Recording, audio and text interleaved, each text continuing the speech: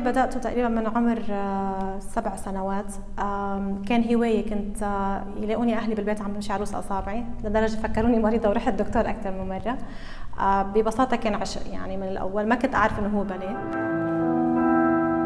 بدأت في الباليه وأنا عمري عشر سنين اللي هو أوفشلي ماما دخلتني على نادي باليه متخصص للباليه. الآن أنا عمري 16 ولي ست سنوات في الباليه. اكتشفت نفسي بإني وأنا صغيرة يعني كنت دائما أتابع أفلام كرتون فيديوز زي كذا أبحث.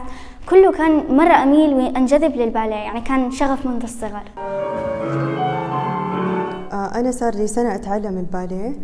آه، اخترته غير عن غيره لأنه هو مجال بعيد كل البعد عن الرياضات الروتينية أو الرقص غير عن في نوع من الفمنن آه، يتطلب.